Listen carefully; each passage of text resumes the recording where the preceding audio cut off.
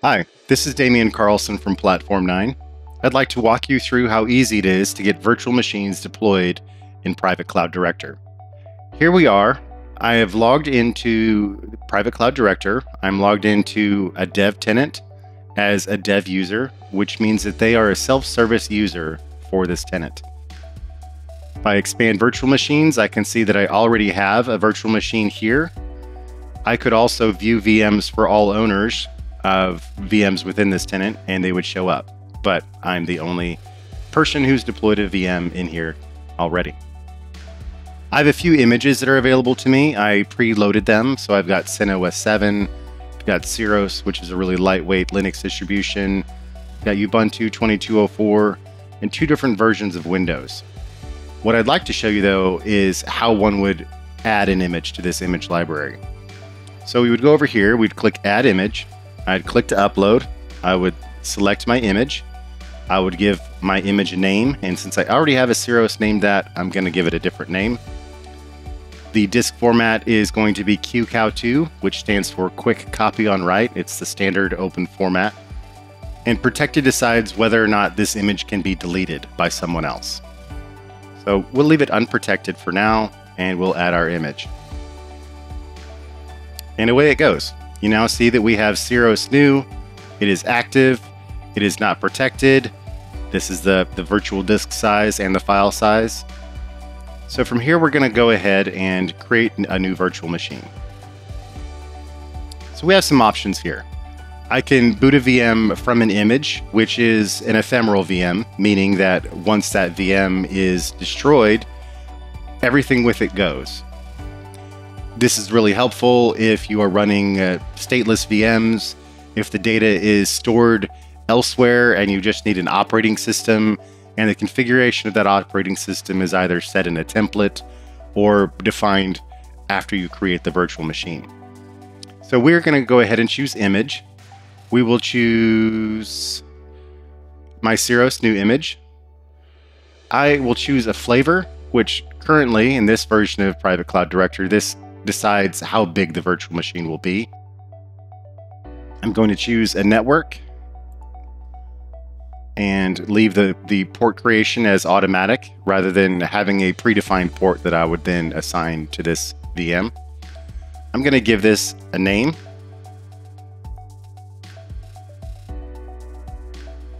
An SSH key would be if I wanted to provide my public key so I can SSH into it without using a password. I've already created my SSH key, so I'll just select that. Server group decides whether it is going to be in an affinity or an anti-affinity group. I don't have any server groups defined in this tenant, so we'll just leave it alone. And then use Cloud Init. This is for Linux machines. This allows them to personalize their distribution after that image has been deployed. The defaults here are for Winter Wonderland to log us in. I'll just go ahead and change that over to password and leave everything else the same. Assign security groups sets the default security groups that control the firewall of the virtual machine itself from the private cloud perspective. The default one is already set to allow all inbound and all outbound traffic, and it's the only group that I have if I chose to not select that, as you would see here, uh, it would just choose the default. And then metadata would be if you wanted to add additional metadata to this virtual machine. So I'm going to go ahead and deploy it. And away it goes. Now let's see what this looks like if we deploy a VM with a new volume. So I'm going to do a new volume. I'm going to set a 20 gig volume I'm going to make sure that I choose the volume type as NFS, which means this will be stored on my NFS backend, as opposed to any other storage that might be provisioned to this cluster. I'm going to choose CentOS 7. I'm going to give it a flavor. Choose network again. And then from here, I will customize my VM. and then I will deploy it. So back in my dashboard, you can see that I have a brand new VM that's been activated. It's fully built and up and running. My CentOS volume is still building. I am getting really close to being at the top of my limit for the quota that was assigned to this tenant. So we'll just have to keep that in mind. So here's my brand new VM. I have a few options. I can click a console, which shows me the VM console. I've got some power actions that I can choose to do. I've got some other actions like renaming it or creating a snapshot or adding a volume to it. I can make some networking changes. I could change the network groups. I could change the metadata. I could resize the VM, which means that since this is an ephemeral VM, the VM would be destroyed and then recreated with that new size. But what you don't see here is the ability to migrate VMs. Since I'm only a self-service user, I can't migrate my VM from one host to another. I'm just going to have to rely on dynamic resource rebalancing to make sure that my virtual machine is getting all of the compute and memory that it needs. So let's click on console and this pops open. We are now looking at our recently deployed VM.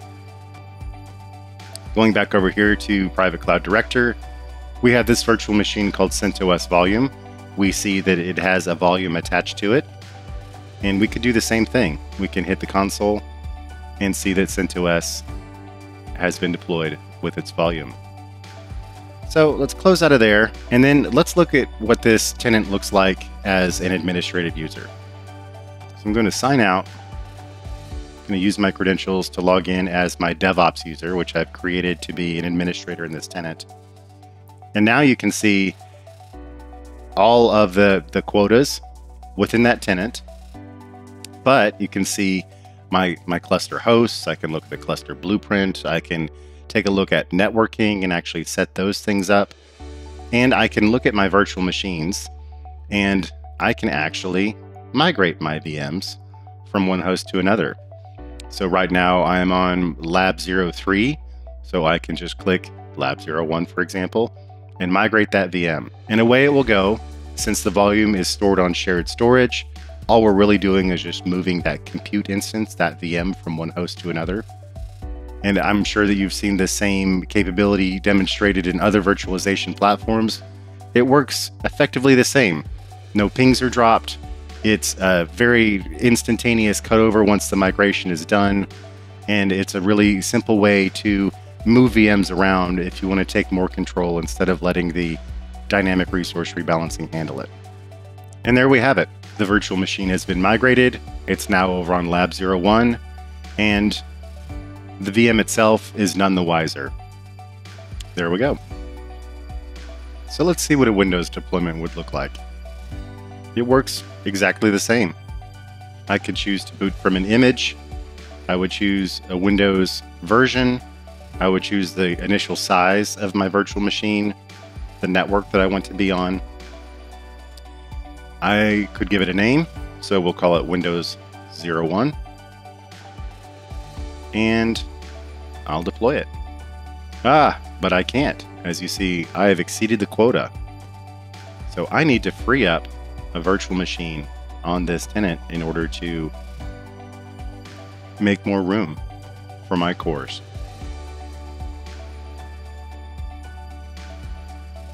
And it actually looks like these two are the biggest offenders. So let's go ahead and delete this one.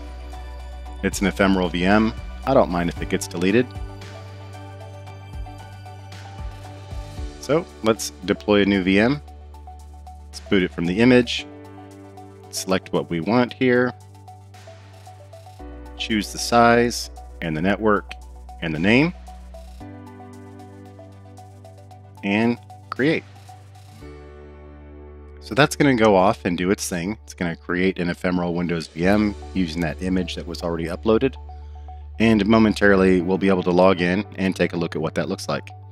While we do, what I would like to see is what it would look like to add a new volume to a Windows VM. So let's go ahead and create a new volume. Let's give it this name.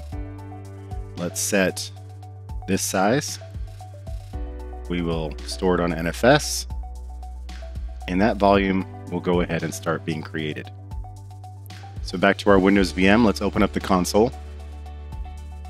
And it's actually booting. using an open format BIOS. And here we go. The admin screen, let's go ahead and set a password for it. And then confirm it.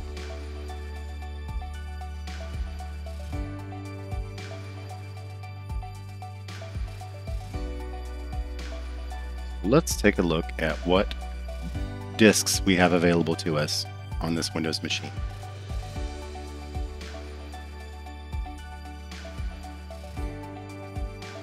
So we have our C drive, which was the ephemeral drive that came with the VM size that we created. We, we chose an 80 gig drive. So what I would like to do is then add a new volume to this VM. Let's go here to manage volumes. We will attach this volume to it. And we'll go back over here. So now we see the 15 gig volume that we attach to it. We can bring it online, we can initialize it, and then we can create a new drive and assign it a letter. And this volume is not ephemeral. This volume actually lives on NFS. If I delete the VM, the volume will still stay there. And so if this VM gets unhealthy, I can just detach the volume, create a new VM, attach the volume to it, and there we go. So that's all that I wanted to show you in this video. Thank you very much for your time. Bye.